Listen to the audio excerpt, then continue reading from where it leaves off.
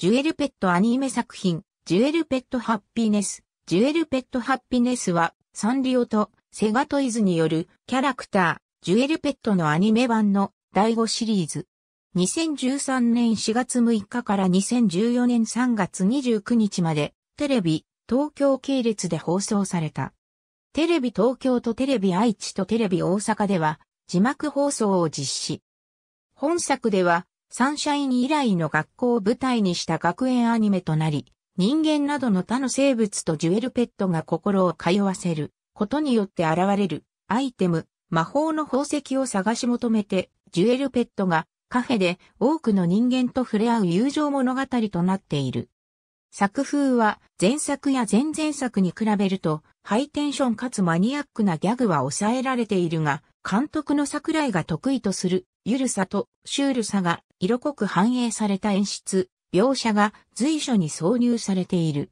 サンシャインとの相違点は、人間と動物は学校で共学しておらず、ペットは学園内のカフェなどで働いているという設定である。ちなみに前作までのキャラクターも登場し、ジュエルペットの各キャラクター設定も前作を引き継いでいる。フォーマット上では前作同様にエンディング直前に1分ほどの C パートが挿入されている。また C パートにおいてはペットが手紙を書くシーンが毎回映し出されており、CM のジュエルビンと連動させている。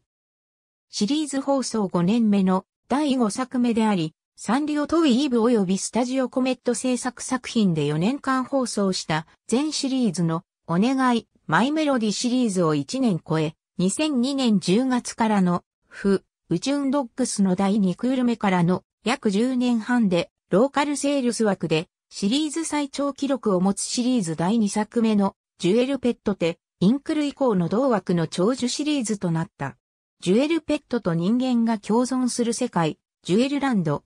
その女王様ジュエリーナの単純な思いつきで魔法の宝石を集めることになったルビー、サフィー、ガーネット、ラブラ、エンジェラ、ローサの6匹のジュエルペット。ところがその宝石はジュエルペットと人間の絆から生み出されるものだからさ、大変。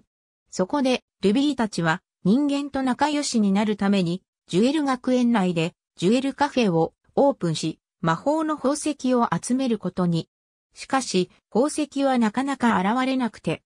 本作は特定の脚本家をシリーズ構成に置いていないため、脚本家によってキャラクターの設定や個性にばらつきがあり、作中の描写と設定が必ずしも一貫しているわけではない。ジュエルペットカフェその他中東部高等部高等部4人の名字は戦国時代の武将が元ネタとなっている。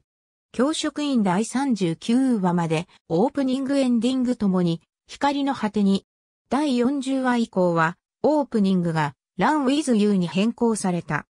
また主題歌が変更された及び OP と ED の曲が一緒の期間があるのは、ジュエルペットシリーズ初である。時間帯はすべて現地時間。発売元、ウィーブ、販売元、TC エンタテインメントから全4巻のリリース。第1巻のみ4枚組で、第2巻第4巻は3枚組。前作までのジュエルペット全シリーズと同様に、昭和の音から各種文具が発売されている。ありがとうございます。